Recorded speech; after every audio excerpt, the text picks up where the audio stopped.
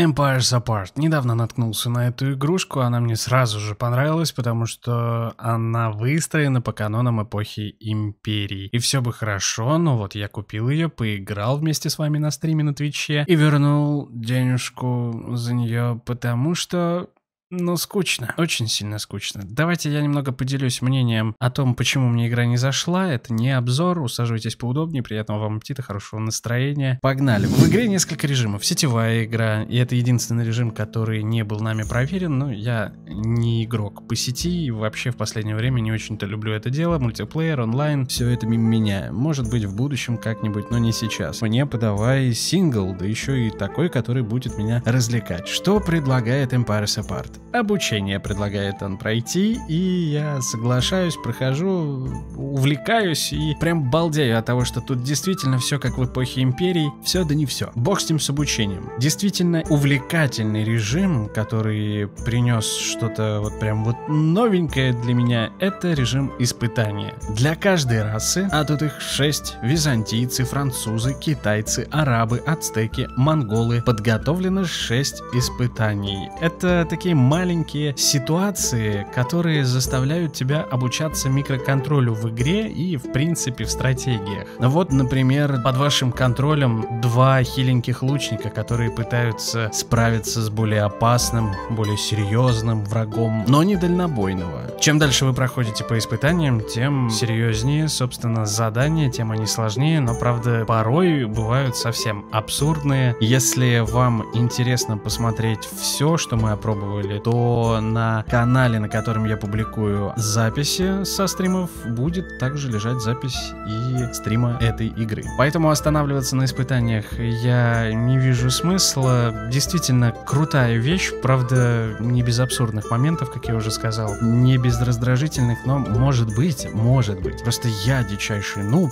и поэтому у меня ни хрена не получается, и поэтому я бешусь. Есть такая вероятность, конечно же. Еще один режим, который мне напомнил игрушку The Billions, тоже стратегия, правда до нее у меня руки еще не дошли. Режим называется выживание. Вам дается центр города, и днем вы развиваетесь, собираете ресурсы, готовите армию, а ночью отбиваетесь от врагов, которые идут со всех сторон. Каждую ночь враги становятся сильнее, их становится больше, ну и, соответственно, усилий прилагать придется каждую ночь все больше и больше и больше. С одной стороны, вау, круто, динамическая смена времени суток. С другой стороны, но какой же тупой искусственный интеллект, который направлен только на центр города, его задача только сносить центр города, и лишь в той ситуации, в которой до центра города ему не добраться, то есть его закрывают ваши строения или стены, он начинает бить эти самые стены, эти самые строения, пытаясь пройти вперед. Ладно, можно и с этим свыкнуться, это в принципе условность этого режима, окей, хорошо. Ну а как вам вот это? Ну просто дичь, я тут уж сам даже растерялся, не понял, какого черта происходит, почему и мои войны, и компьютерные войны бегают туда-сюда, как баллончики от одних ворот к другим. Просто нереально получать удовольствие в таких условиях. Опять же, окей, быть может, я придираюсь. Последний оставшийся режим, который предоставляет нам игра, называется «Столкновение».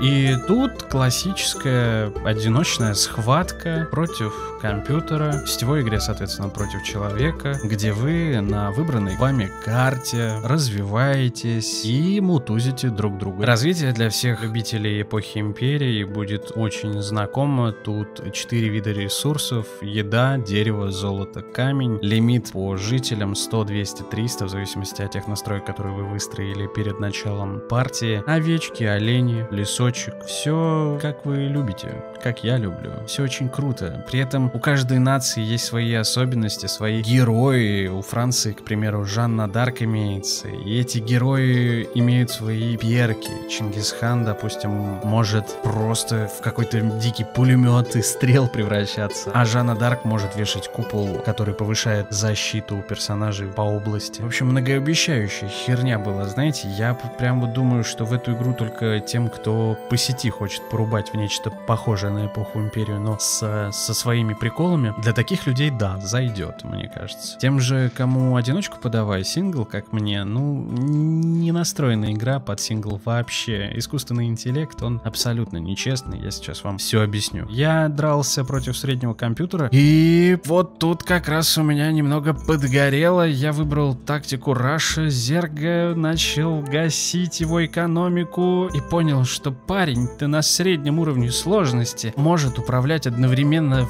всеми юнитами и зданиями своими. Ему просто как будто бы не поставили этот блокиратор. И пока я выношу ему экономику на севере, он мансит жителями, он отстраивается на юге, он строит воинов, он чинит здания, строит фермы, и все это одновременно, вы понимаете, это нереально на среднем уровне сложности. Сложность должна заключаться в другом, ну, это мне так кажется, как минимум. Я не знаю, на легком что ли играть против него, чтобы он так не делал. Всего тут сложности 3, я высокий уровень даже не стал пробовать, ну, просто потому что решил, что это какое-то дикое издевательство. Невозможно выиграть, абсолютно невозможно. Просто потому что ты человек, у тебя две руки, два глаза, а этот дядька компьютер, и он одновременно управляет абсолютно всем. Одновременно. Одновременно, сука. Мансит строит, ну я вам это уже говорил, это нереально тупо. Я бросил игру именно на этом моменте. В общем, как я уже сказал, это не обзор. Более детально вы можете ознакомиться с тем, что происходило на стриме, собственно, на записи стрима. Я игру больше не рекомендую, чем рекомендую. Лучше поиграйте в эпоху Империи, там, по крайней мере, есть еще и сюжетные какие-то задания. Плюс еще и новых наций подвезли для тех, кому классики не хватает. И сюжет под эти новые нации настроили. В общем, все там очень круто. Ждем четвертую эпоху Империи. Надеемся, что там таких косяков не будет. Empires Apart жалко, жалко. Я смотрел ролики по тебе, Empires Apart. Я слушал других блогеров, и все они слюнями забрызгивались, кайфовали от тебя. Но что-то как-то вот